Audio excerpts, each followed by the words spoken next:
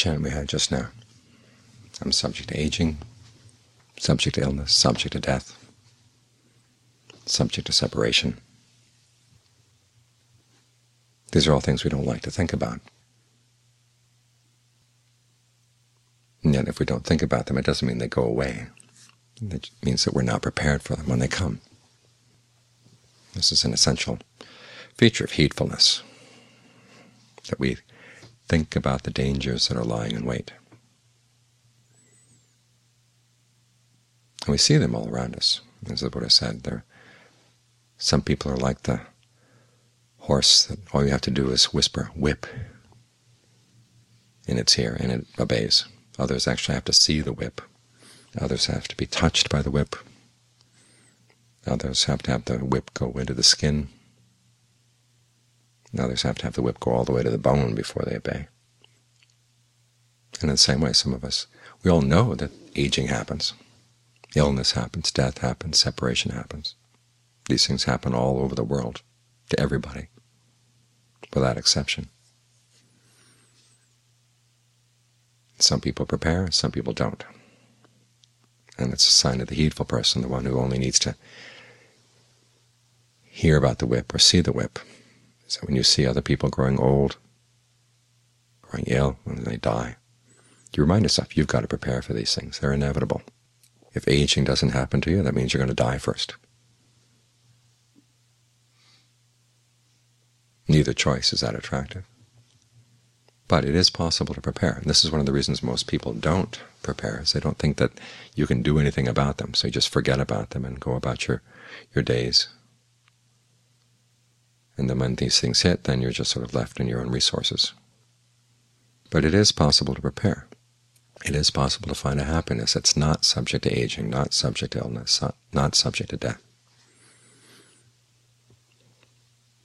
And when you found that, then you're not afraid of these things, because you realize you've got something that they can't touch, something that lies beyond their power. The Buddha once said that this was his motivation in looking for awakening to begin with, seeing that he was subject to these, these dangers. And the dangers are written into that other chant we did just now. Aging is an aspect of inconstancy or impermanence. Illness is an aspect of suffering, and death is the ultimate teaching and not self. In other words, the things you have, your material belongings, your status, the praise you get from people, these things you have to leave behind. You can't take them with you as you go. There is one thing you can take with you, and there's one thing that serves you in good stead as you're still alive, and those are your actions.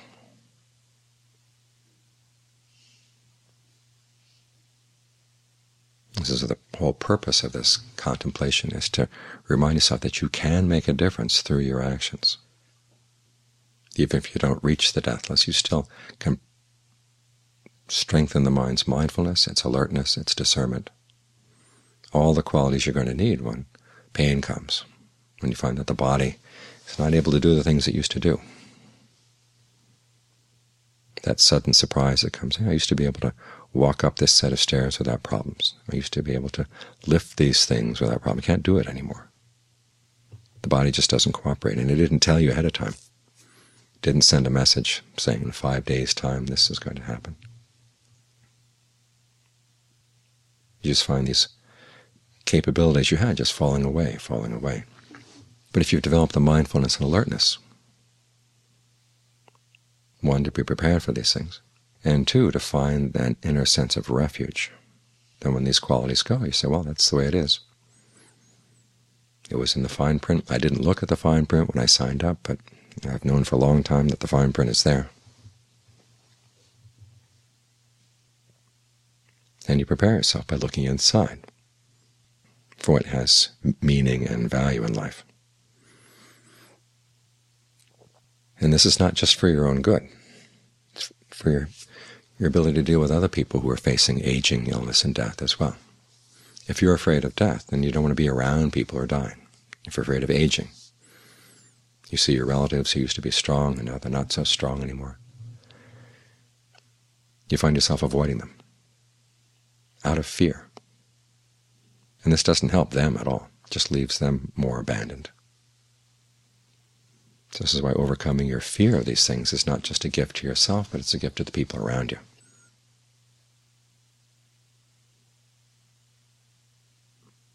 The Buddha talks about monks nursing one another, and an important quality of being a nurse is that you're not afraid of things that happen to an ill person. You're not disgusted by the signs of illness. You're not disgusted by the things you have to clean up, the, all things that the body produces that are really unattractive. And the same principle applies at large in helping people who are growing old, helping people who are ill, helping people who are dying.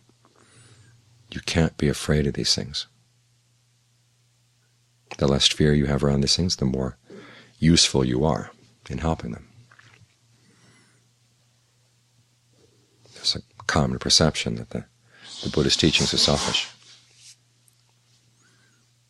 that you're doing this just so that you can be okay, or you can find your, your personal happiness. But as the Buddha points out again and again, the, the happiness you find through the practice doesn't have clear boundaries. What boundaries are there porous. I mean, of course, none of us can find the deathless for somebody else. You can't hand it over to somebody who's dying or somebody who's ill.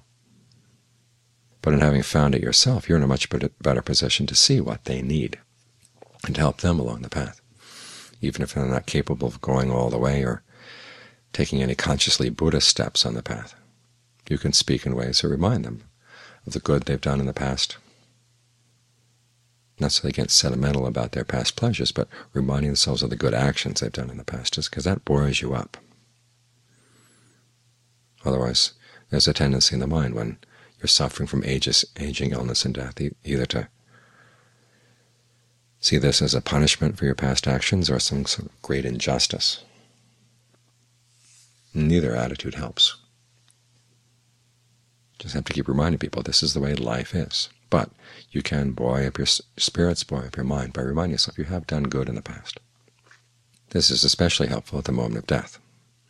Sometimes some very scary images occur to the mind at that point, and if the mind has a lot of guilty conscience over some issues, say, oh my gosh, here it is, the, what they said was right, you're going to go to hell. And you just sort of surrender yourself to that image, which is not healthy at all. You develop the mindfulness and alertness to watch the fact, okay, images arise in the mind, but you don't have to go with them. And this is one of the skills we develop as we meditate. Sitting here with your breath, and all kinds of images are going to come, all kinds of verbal ideas are going to come through the mind. Different sensations are going to come through the body, but you don't want them to distract you. And it's an important skill to develop that these things can arise, but just let them pass, let them pass.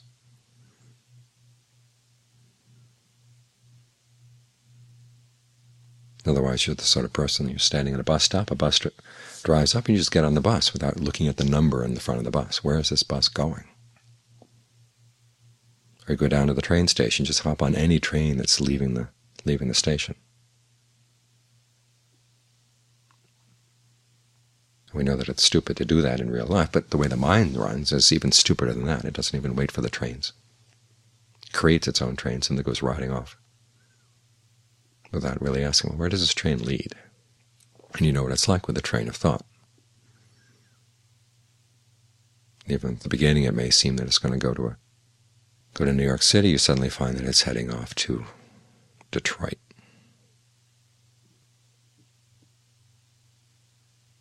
This talk will not play well in Detroit. You suddenly find yourself dumped off at the side of the railroad track someplace. Then you get the next train. Wow, this train takes you someplace even worse. And it just keeps going worse and worse and worse. So as a meditator, you've got to learn as the important first skill is you don't go with anything that else comes along that's contrary to your original intention. This is how you develop your mindfulness, how you develop your alertness, how you develop the ardency that you need on the practice. As soon as you catch yourself on one of those trains, you just jump off. Unfortunately, trains of thought aren't going at a speed where you're going to hurt yourself by jumping off. and you find yourself back at the breath. And as a reward to yourself for coming back, you tell yourself, well, what would be one really good special breath right now that would feel really good deep down inside? And when you found something that feels really good, there's no need to stop breathing in that way. As long as it feels good, keep it up. If it doesn't feel good, if it after a while you get tired of that kind of breathing, you can change. This is what keeps the breath interesting, helps keep you here. You develop a sense of interest, a sense of desire to see what the breath energy can do for the body, the different ways you breathe, the effect they have on the body, the effect they have on the mind. And this way you develop important skills. When you've developed these skills, that you can help other people. You find someone harassed by thoughts of the past, you help direct their attention to things that are more helpful. And then you keep reminding them. There's an old man who was dying at the monastery back in Rayong years back, and we hadn't been able to get any painkillers for him. He had cancer in the jaw, but he'd been meditating Buddho, Buddho for a couple of years. And so he had his daughter whisper into his ear when she saw that he seemed to be affected by the pain. He, his head would sort of go back and forth over his pillow. So he was trying to get away from the pain. She'd whisper Buddho, Buddho into his ear, and he'd stop and be able to maintain it for an hour or two, and then he'd start moving again. So she'd whisper in his ear again, he'd stop again.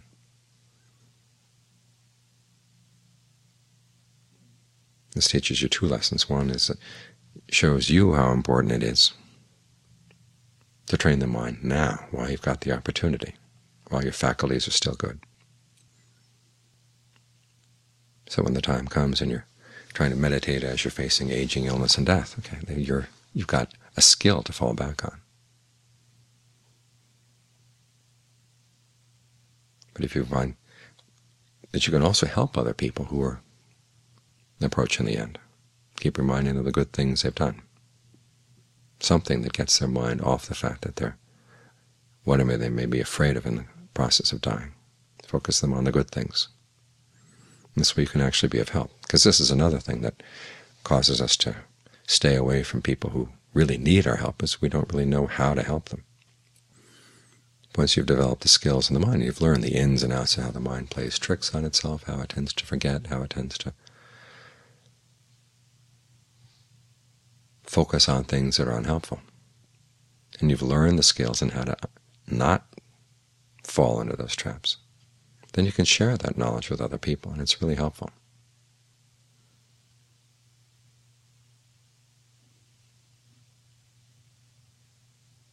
And so this is why learning how to overcome your own fear of aging, Ill illness, and death makes you a more helpful person to have around.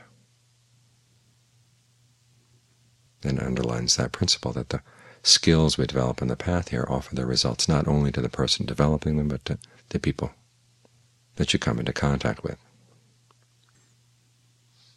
When I was in Thailand recently, when I was interviewed on a radio station, and inevitably the topic came up, well, how do you make sense from the point of view of the Dharma, how do you make sense of all the strife that's going on? They said, well, it's inevitable if you're going to try to find your happiness in the what they call worldly dharmas. Material gain, status, praise, sensual pleasures. There's going to be conflict because the, those kinds of pleasures are a zero-sum game. If you gain something, somebody else has to lose. You gain material wealth, but somebody else has lost something someplace. It's not for nothing that they say people make a killing on the stock market because often that's what happens. You know, somebody, some place is being deprived of money that they they might actually need in order to stay alive, as you've made your profit.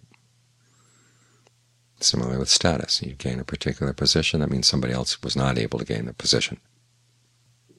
So on down with praise and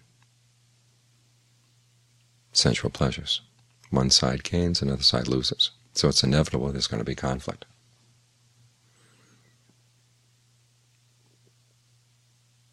But if you look for happiness in, in the skills that the Buddha teaches, there's no need for conflict. When you're generous, you benefit, people around you benefit. When you're virtuous, you benefit, the people around you benefit. When you meditate, you benefit, the people around you benefit. It's a happiness that spreads around.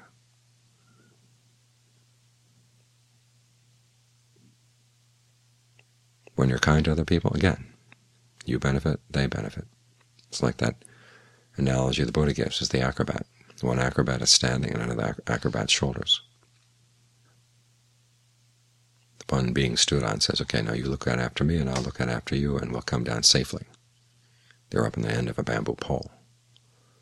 And the acrobat on top says, no, it's not going to work out that way. I have to look out after myself, and you look out after yourself, and that way we help each other. I, I maintain my balance, you maintain your balance. That way we help each other maintain our balance. And the Buddha said in that particular state, in that particular situation, it was the acrobat on top who was right. But he also says there are times when, by being kind, you benefit. You develop good qualities of mind. As you develop mindfulness, other people benefit because you're showing more restraint, you're showing more control over your actions. So the happiness that comes from the practice of the Dharma It's not the kind of happiness that's going to cause strife or going to cause trouble. It's when we abandon this kind of happiness and go back to looking for our happiness in the ways of the world. That's when there's bound to be conflict. So as you sit here meditating, remind yourself this is a gift to yourself and to the people around you. There are days when you say, well, this is good enough for me, then yes, you have to ask yourself, well, what do you have here? Is this good enough for other people too? And that gives you a little extra oomph to practice, so much the better, both for yourself and for the world around you.